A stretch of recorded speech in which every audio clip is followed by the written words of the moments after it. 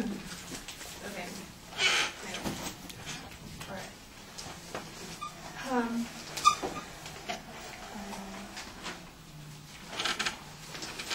farms ridden with disease, blood, and excrement. Cages packed full of animals that are tortured, prodded, and butchered. Animals of the likes of chicken, cows, and pigs, and so on, are tortured and butchered every single day. Why do we still meet knowing this information? It has been proven as a scientific fact that meat is extremely unhealthy for you. It is an act that promotes severe and unnecessary cruelty of animals. And the production of meat is an unnecessary commodity that harms our environment and depletes our economy. It has been proven that to be vegetarian is better for your health, your fellow animal, and our severely neglected environment. First of all, let's start at the core of the problem in, rel- in relation to our health. According to ChooseVeg.com, the body was never meant to consume meat. The body of a carnivore has a extremely has a relatively long intestinal tract. This is so that when the carnivore is eating the meat, as it passes, it, it will pass through the intestinal tract quickly so that it could be defecated, and it does not hold the meat in the body of the carnivore, letting it rot and release all these toxins that will harm the, um, the body of the animal. The human, for example, an example though, has a relatively long intestinal tract. As your body consumes the meat, it passes through your intestinal tract extremely slow, and it takes days for it to be digested. Can you just imagine the detriment to your health that occurs when you have meat in your intestinal tract rotting away? And then, besides this, the animals that um, are being butchered every day are always are usually dying in situations that are extremely that are high in stress and bad for the animals. And this causes the meat to be even more um, for it to be stressed out and also the chemicals that are put into the bodies of the animals are being put into your body as well. The body of a carnivore the from the moment the time an animal dies, especially if it dies from a high stress situation, the flesh starts to decompose and break down, releasing these deadly toxins. Can you, um, now another signature trait of a herbivore that the human body carries lies in their teeth. According to uh, according to ChooseVeg.com, the teeth of a carnivore are relatively sharp and pointy. This is meant so that it could aid the animal in ripping up the meat and chewing the meat and ingesting the meat. Um, but when you look at the teeth of a human being, you could see, you you will see that our teeth are relatively square and flat. This is meant for uh, the human body to ingest plants because the flatness of teeth grinds up plants better. Just take a look at your dog or cat who are the descendants of wild felines such as tigers and lions. Those teeth are pretty huge and pointy. And you, teeth are, um, so then we wonder why uh, we, the body um, manifests things like cancer in the stomach and or the intestines or the colon, or why does the body manifest ulcers or gallstone bladders? These are all signs of the detriment of the consumption of meat and the toxins it, it releases to our poor bodies as it, it attempts to digest it. Why do our teeth erode and develop cavities or become loose or fall off when we get older? The body just was not meant to eat meat. And now let's look at another um, key point and why we, you should be a vegetarian. The cruelty of animals that is experienced in the meat market is unparalleled by no other. Chickens, for example, are grown to be mutated so that they have no, they practically don't not, don't have a head or or a red comb, which is the signature trait of a male chicken. Um, if, as quoted by by ChooseVeg.com, if you were a chicken by the time you were age two, you would weigh 364 pounds. Now, what kind of life do you think that is for an animal?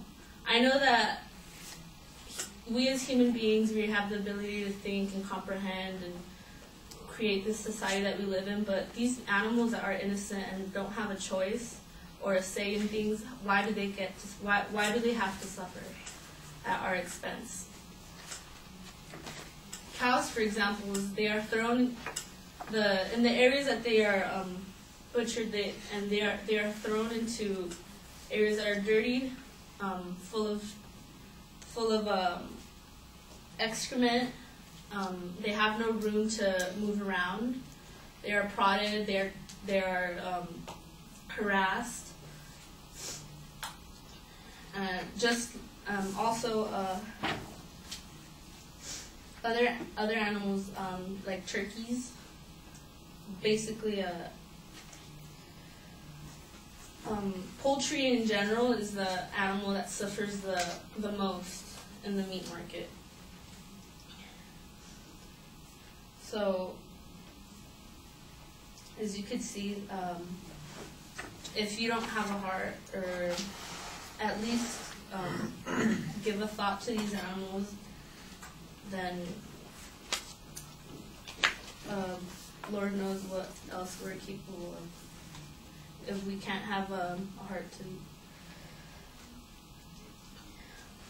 um, another another uh, important point in um, being a vegetarian um, is that it would greatly improve our economy and help keep the environment clean. Uh, every day, um, the meat market uses millions, millions of dollars in using water, uh, our resources such as water, using grain to feed the animals, and um, um,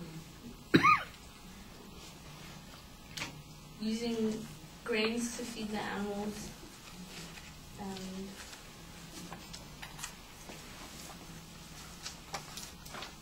um, and would and wastes a lot of our resources. If um,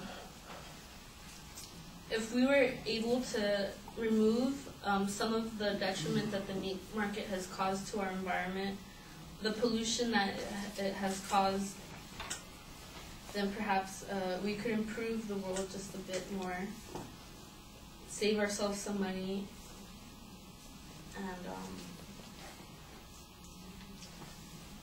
and help help us feel better about the way that we treat our animals.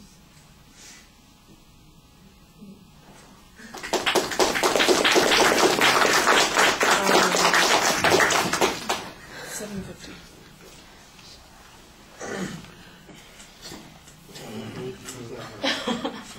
Big turkey sandwich. You're laughing. Mm-hmm. And there was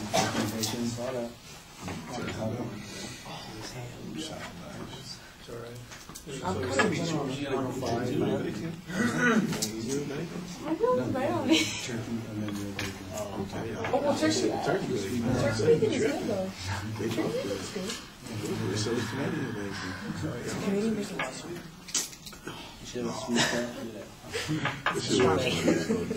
sweet.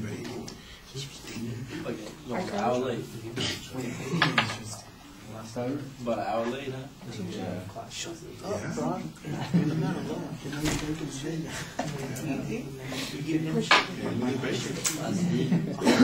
Go ahead, right, right away. Just a different Consecutive rule. different slice.